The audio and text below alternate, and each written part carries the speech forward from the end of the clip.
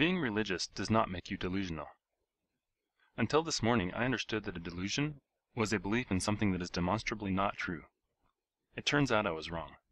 The DSM-4 and psychologists generally agree that personal beliefs should be evaluated with great respect to complexity of culture and religious differences since some cultures have widely accepted beliefs that may be considered delusional in other cultures.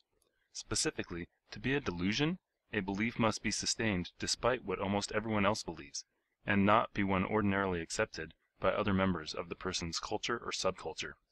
For example, it is not an article of religious faith. Why do they exclude false religious beliefs? Well, being delusional is a disorder that hinders someone from operating in a society. No matter how delusional an entire society is, calling everyone in the society delusional would render the word meaningless for practitioners who need to diagnose and treat the disorder. The fact that psychology does not define the religious as delusional does not change the fact that billions of people believe in things that are demonstrably not true. We do not need to prove or disprove any religion to know that billions of people are misled, because the major religions of the world hold mutually exclusive claims.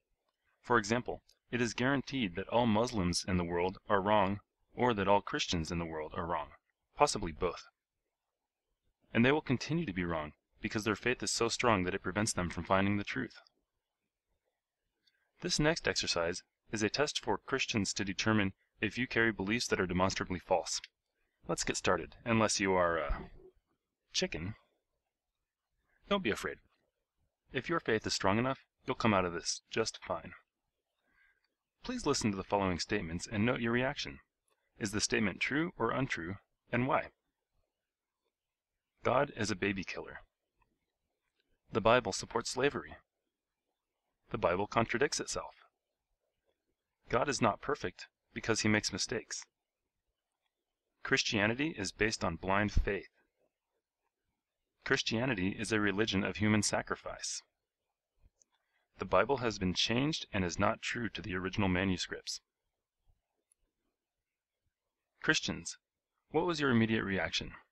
Did you reject these points in defense of your faith? When I was a believer, I rejected each one of these claims immediately as they were presented to me. Then I started to look for ways to justify my beliefs after the fact. That's the thing about faith. You are bound to believe certain things regardless of what the evidence says. You do not have the luxury of thinking it over properly, because if your faith is broken, then you risk eternal damnation. Fear retards the mental process, and it does so quite nicely when disguised with words like gospel, redemption, and salvation. Most of the statements I made in this exercise are true with respect to Christianity. Here is an example. God is a baby killer. Here is evidence that God directly killed babies as recorded in the Bible.